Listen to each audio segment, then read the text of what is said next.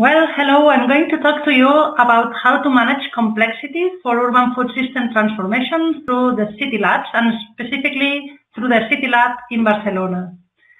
As you all know, in Fit for Food, we are trying to change the way we solve our problems. We are trying to implement strategies like Food 2030 and other strategies that describe us future visions. And we know that in order to achieve these future visions for our system, we need to apply changes not only in the food system, but also in the research and innovation system.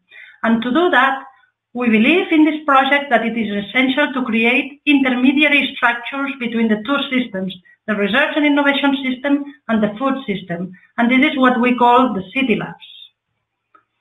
Actually, nowadays, we are already changing the paradigm in the research and innovation system. We are trying to make it more open and more inclusive with many different movements coming up from the European Commission and from other organizations where we are trying to better include different stakeholders in the process. So, for example, citizen science or open innovation processes like design thinking and so many other methodologies and structures like science hubs and living labs that have been created to open up this process.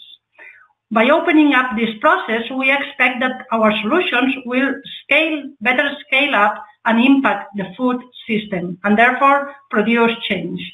However, under this new paradigm, we are still facing a wall. We are still facing that our solutions don't impact the food system as highly as we would expect.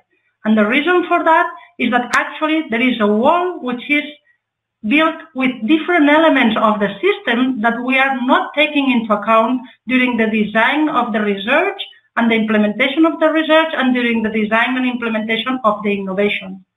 And therefore, what we are exploring in the Barcelona City Lab is how to better take all these elements into account when designing uh, solutions and, of, of, of course, interventions for system change. What we have realized is that actually most of the time, or in many times, we are tackling problems without seeing all the components of the problems. So some elements of the system are still hiding under the water, like in this picture. And this is because we tend sometimes to think as problems as if they were complicated, so having rules and having recipes to be solved, instead of talking, thinking about pro problems as if they have a lot of unknowns and a lot of interrelated factors that are that may be hindering us from finding appropriate solutions for them. So what are these elements of the system that are there what are all these unknowns? What are all these interrelations of the factors that we have in the system that may be making it difficult for us to implement solutions? Well, these elements are very varied, and I have put for you here a list of some possible elements that we need to consider. These elements they may be found in the phases of the value chain, in the different areas of the systems, in the different levels, in the different sectors, in different academic disciplines, in different research and innovation lines, in different typologies of solutions and with the perspectives of different stakeholders. And among these different categories, we will have to explore trends, showcases, and research and innovation breakthroughs that are, that are already promoting change in the areas where we believe a change is more urgently needed. But of course, here there is a lot of complexity, and we may be questioning how can we manage this complexity? How can we juggle with all these elements in the system? That's what actually we are doing research on from the City Lab in Barcelona. During this project, we have divided the time in three blocks. During the first block, we have been developing knowledge and piloting methodologies to juggle with all these elements in the system, and we have summarized them in the educational model that we have facilitated through the project. The next step will be to implement it through a community of practice in the city of Barcelona. During the first phase of knowledge development, we mainly devoted our time to explore together with the community of practice three typologies of knowledge.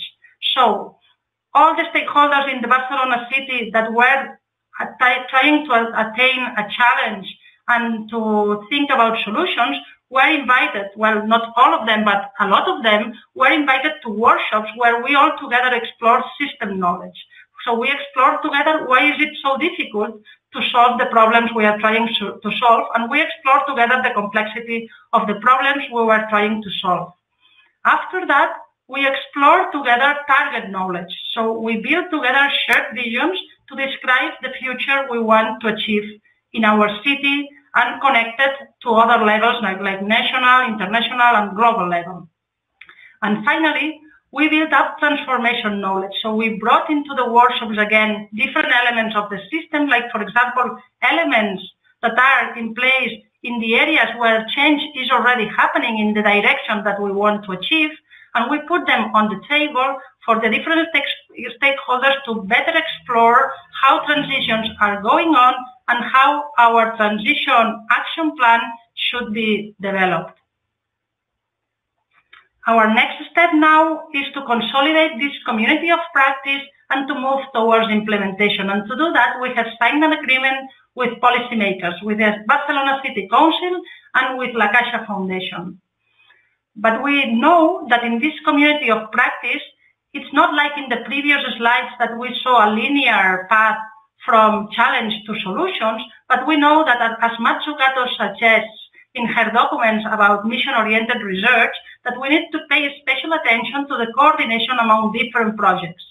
And we believe that this coordination that Mazzucato suggests has to happen while at the same time exploring the three sorts of knowledge that I mentioned before, and we need to do that at different levels, as it's written here in the right of this slide.